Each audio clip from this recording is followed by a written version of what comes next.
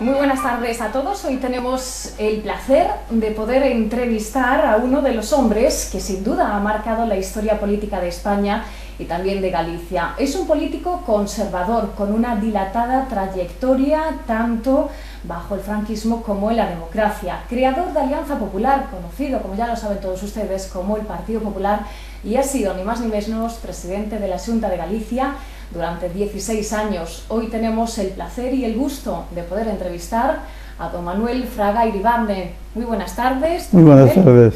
Y bueno, ante todo, muchísimas gracias por abrir las puertas de es su un casa. placer. Permítame una pequeña corrección. Yo no me he definido nunca como conservador. Me he definido siempre como centrista reformista. Quiere decir que estoy dispuesto a tomar de cualquier lado las ideas que sean buenas para Galicia y para España en este momento. Eso quiere decir centrismo reformista. Yo- la conservación me parece una parte importante de lo que estoy diciendo. Hay que conservar todo lo bueno, pero hay que intentar mejorarlo y adaptarlo a los tiempos. Hecha esa pequeña puntualización, que seguramente hablaremos de ese don Manuel y de muchos matices más, me gustaría empezar un poco recordando su infancia que transcurrió entre Galicia y Cuba. Se forma en Lugo, en la Universidad de Santiago, en Madrid. ¿Qué recuerdos tiene de, esos años? Todos buenos. Yo tuve unos padres maravillosos. Ahora verán ustedes la fotografía de ellos cuando se casaron. Eran los dos inmigrantes a Cuba, mi padre gallego y mi madre vasca. Y fue un flechazo maravilloso. Tuvieron 12 hijos de los que yo fui el mayor. No tengo más que buenos recuerdos de mi infancia. Y en general también de las- los profesores que encontré. Yo encontré un profesor como Filgueira Valverde en Lugo, por ejemplo, que era un lujo tener un profesor como ese y así sucesivamente. Usted ha sido siempre un hombre muy trabajador, muy perseverante, muy estudioso. eh, está licenciado en Derecho, en Economía, Estoy doctorado en Derecho doctorado en Derecho. y en Ciencias Políticas y Económicas. Y si me Y permite, tengo doctor- eh, doctorados honoris causa para parar un tren. no sabemos si un tren, pero sí en la universidad sus compañeros le apodaban como Dr. Thompson. ¿Por qué? Supongo porque de- demostraba una cierta fuerza en el, estudio. Muchas veces en Villalba mis amigos me dicen, de pequeños te odiábamos todos, estábamos cansados dejar en casa a aprender de Manolito Fraga. Era la envidia de sus amigos entonces. Yo era un buen estudiante y además llevaba ciertas ventajas. Por ejemplo, el haber estado en Cuba me daba ventajas para el conocimiento del mundo, pero el que mi madre fuera vasco-francesa me permitió, el único idioma que estudiaba entonces en España era el francés, tener el francés ya resuelto y así sucesivamente. Ujú. Bueno, con esa extensa formación usted decide un día adentrarse en el mundo de la política. ¿Por qué y de la mano de quién, don Manuel? Bueno, yo el año 36, yo era un buen estudiante, como le dije, y conocía la historia del siglo XIX, no quería que continuásemos repitiéndola, golpes de Estado, pronunciamientos, revolucioncitas que no iban más allá que el nombre, etc. Y precisamente por eso yo hice unos ejercicios espirituales en Samos al final del bachillerato, proponiéndome dedicar mi vida a la solución de los problemas de nuestra querida España. Y creo que he acertado, no en, en la- en los, todos los puntos de mi acción, pero sí en la decisión que tomé entonces. Valía la pena intentarlo. Y algo hemos contribuido. Primero yo fui ministro de Información y Turismo, que era acabar con la ley de prensa del 38, hacer una nueva y crear una riqueza de la importancia tal que un grupo de ministros me pidieron que no se dieran todos los datos del turismo. Pero ¿cómo no se van a dar? Si eso es lo que animar a otros a invertir, porque destruyen la importancia de otras reformas económicas de menor calado. Y así sucesivamente. Yo he estado siempre en la vanguardia de los cambios, pero con prudencia. Don Manuel, usted ha dicho ha sido ministro de Turismo, ministro de Información.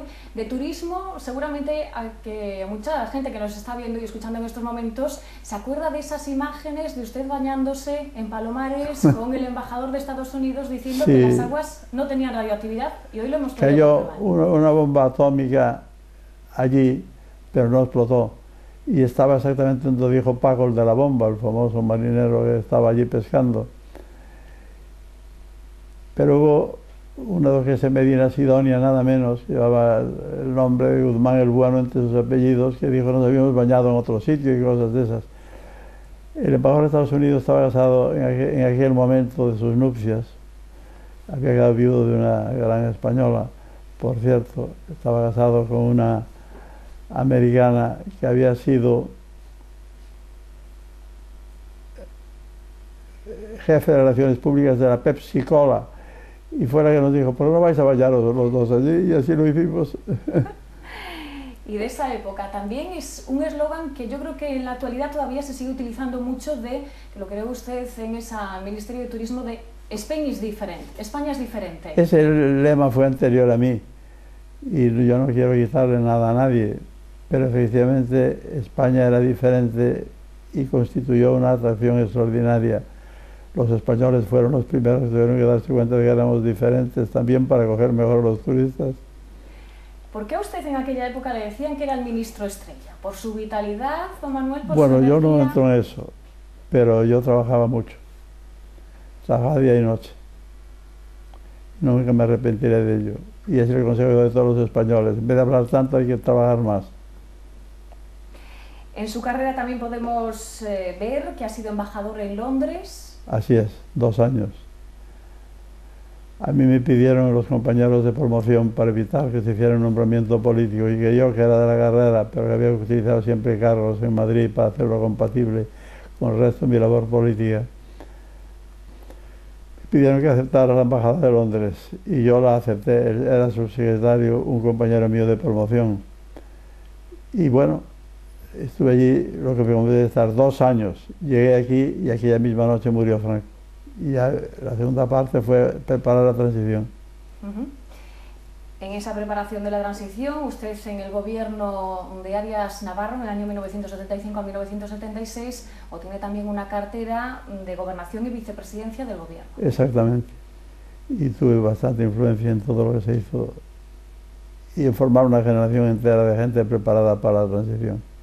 Evidentemente, eh, don Manuel, esos tiempos fueron tiempos difíciles, ¿no? El camino a la transición. No hay nada fácil en política.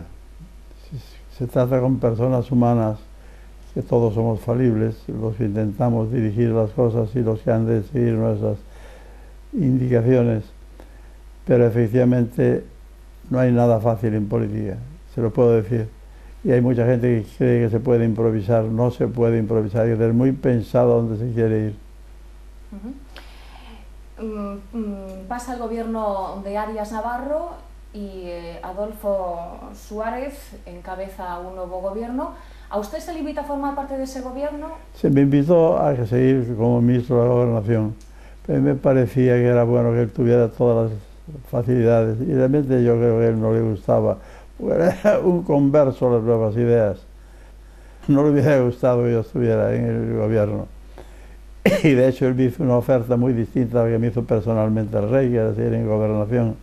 Es decir, a mí me tocaba usar el freno y a otros hacer las propuestas. No me pareció que fuera mi sitio. A pesar de todo, usted no se para, es un hombre trabajador, emprendedor. Yo estuve creando un partido que ahí está y que soy uno de los dos grandes partidos de España y que espero que llegue a ser el partido principal. Por eso, en 1976, usted funda Alianza Popular. Yo fundé Alianza Popular, que luego fue cambiando de nombre, hoy es el Partido Popular, como usted sabe, y creo yo que cumple una función muy necesaria. Vuelvo a decir, centro reformista desde esa fundación hasta que en 1989 usted regresa, se refunda Alianza Popular y, eh, encabeza esa candidatura a José María Aznar al frente de esa formación. Sí, yo dos veces di paso a otros. Primero se lo había dado a un candidato andaluz que había tenido muchas unas elecciones andaluzas, pero que luego no se entendió suficientemente con los demás. Y después vino la persona que usted indica que lo ha hecho muy bien.